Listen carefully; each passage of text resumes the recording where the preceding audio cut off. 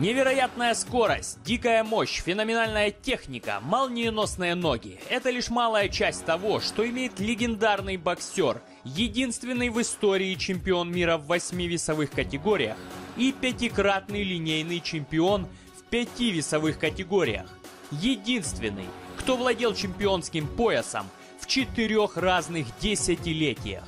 Боец, завоевавший свой первый чемпионский пояс в 19 лет – Мэнни Пакьяо по прозвищу Пакмен. Приветствую вас, мощнолапые морские звездочки. Как вершине Фудзи не избежать лучей восходящего солнца, так и величайшим боксерам не избежать встречи с себе подобными. А в этом видео я, Федорович, покажу вам 10 сумасшедших нокаутов от легенды.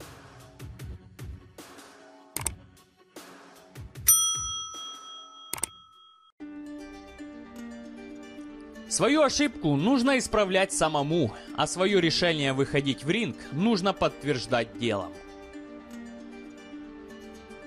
23 июня 2001 года, Лас-Вегас, дебют Пакьяо на американской земле в бою за пояс IBF, который как Цербер ворота в ад охранял Лехлаханола Ледваба и защищал его уже пять раз. Но встреча с Пакменом заставила африканца опустить прощальную слезу, провожая свой пояс печальным взглядом. Но перед этим были слезы боли, перемешанные с кровью, после феноменального прямого от Мэнни и последующих плюх.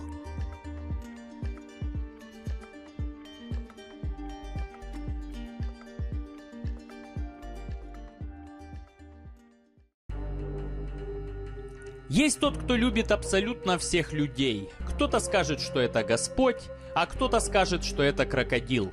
Так же и с бойцами. Для кого-то он бог, а для кого-то демон.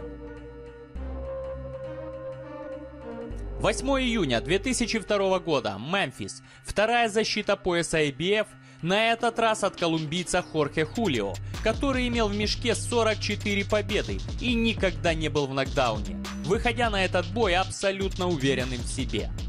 Но тазманский дьявол в лице Пакмена показал Хулио, что все, кто у него были до этого, даже близко не понимали, что такое скорость и феноменальный темп. Поэтому уже во втором раунде, лежа на канвасе, Хорхе пытался понять, что мать его здесь произошло.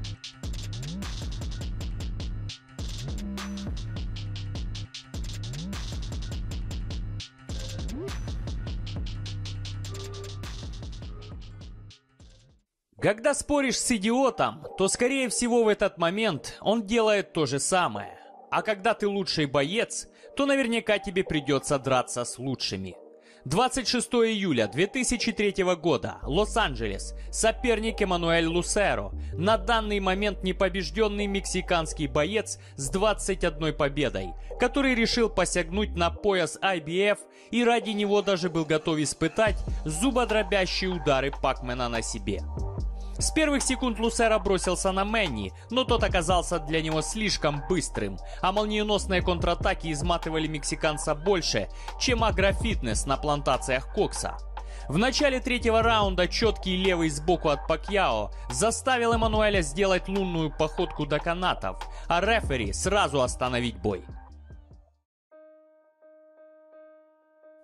Сделай все, что можешь, а в остальном положись на судьбу. Именно так действуют бойцы, когда встречаются с лучшими.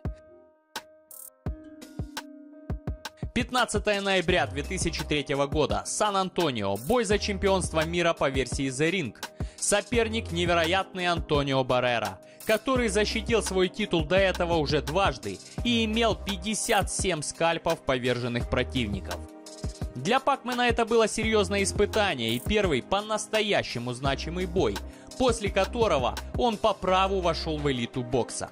Несмотря на ошибку рефери в первом раунде, который отсчитал Мэнни нокдаун, уже к 11 раунду преимущество Пакмена стало настолько очевидным, что даже зрители пытались остановить бой. А когда это сделал рефери, секунданты Барреры сразу выбежали в ринг спасать подопечного.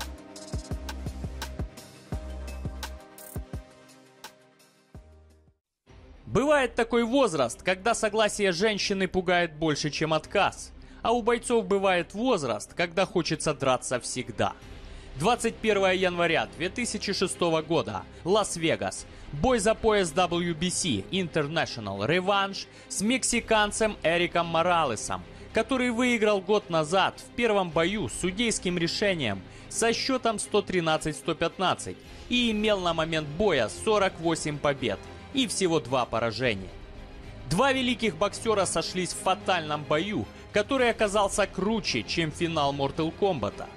10 раундов жесточайшей рубки на бешеных скоростях завершились классным кроссом от Пакьяо, который посадил Эрика на канвас. Но на счет 9 он встал, после чего пулеметы Мэнни скосили его окончательно.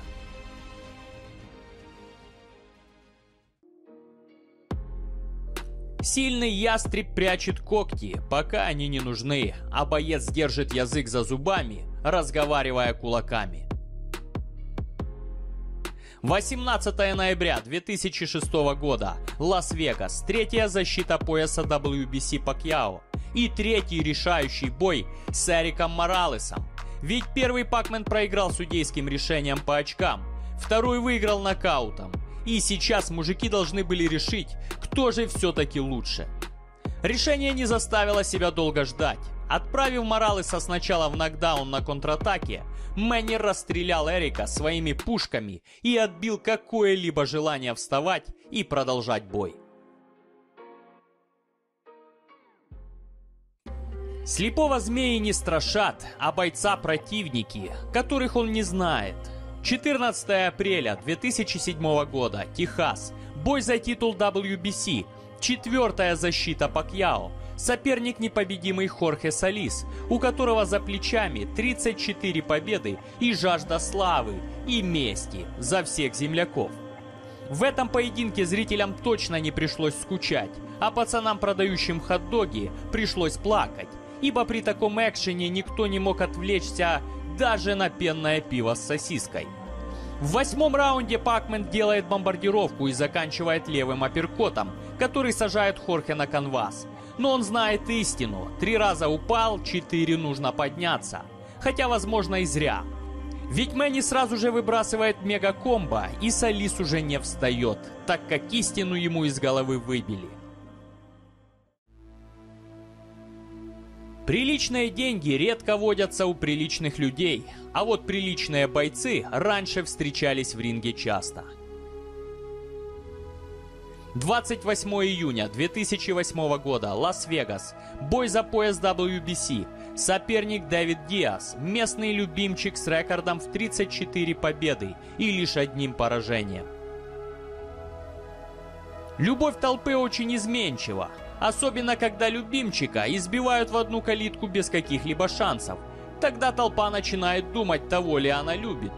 Пакмен издевался над Диасом почти 9 раундов, отправив его в глубокий нокаут коротким левым прямым навстречу.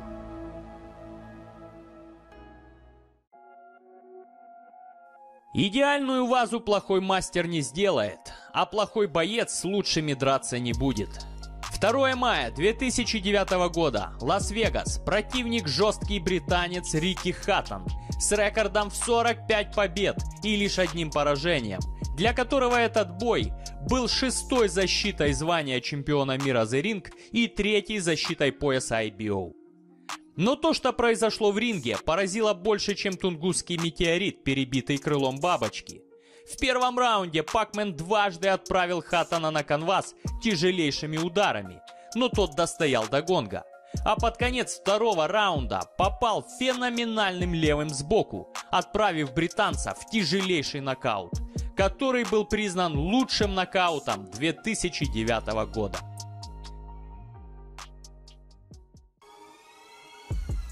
Жена друга – это лучше, чем друг жены, а бой по телеку – это лучше, чем бой с соперником.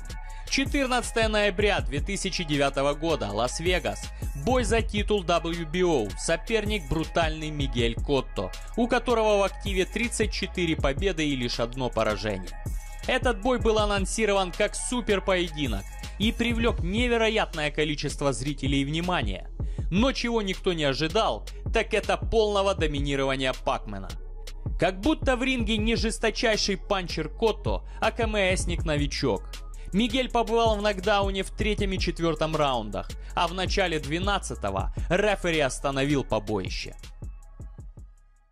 Подписывайтесь на канал, ставьте лайк, жмите колокольчик и делитесь видео в соцсетях. А в комментах напишите, каким самым феноменальным нокаутом вы отправляли себя на диван. А поддержать канал и получить мою благодарность зарядом силы Чи вы можете, став спонсором канала по ссылке в описании или возле кнопки подписаться. Благодарю за просмотр и настойчивости в тренировках. Пика! Все, спокойно, спокойно. Защита. Нога где-то. Переваривайтесь.